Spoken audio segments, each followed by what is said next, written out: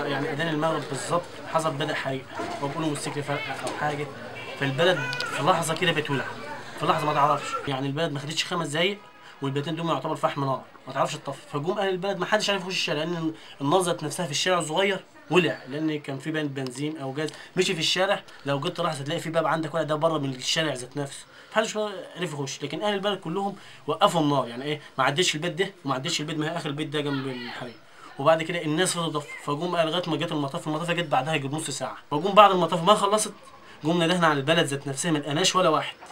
فجم بقى حوالي الساعة 12 بالظبط لقينا أول جثة دراع واحد. وبعد كده بقوا اثنين وشويه بقوا ثلاثة وبعد ما نقبنا شوية لقوا ست انفار مطاف البلد كبيرة. الناس لسه عايشين في الطين من 30 سنة أهوت زي ما أنتم شايفين. الناس عايشة في الطين عايزين مطاف. هتبقى حتى ماسكة البلاد اللي حوالينا. أي قرية تانية زي دي. والمستشفى عندنا مش شغالة. المفروض إن هي تبقى مرك... المفروض تبقى المفروض تبقى مركزي. خدنا قرار تشغيل إن هي تبقى مركزي.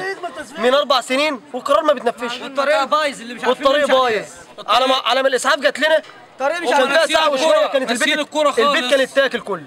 ناسيين الكورة. والبيت ده عايش فيه أربع عيال بعياله كل واحد مخلف ثلاث عيال. يعني كل واحد ما يطلع عيلين وثلاثه آه بص حضرتك الناس اللي هو رحيمه اللي بتبص شوف المنظر دي بيت بالني مش بالحجر.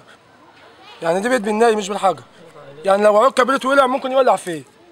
فالموضوع مش مستاهل كلام ولا مش حتى مش مستاهل تصوير ولا اي حاجة. الناس كلها عارفة وشوف المنظر بنفسها. واخد بال حضرتك؟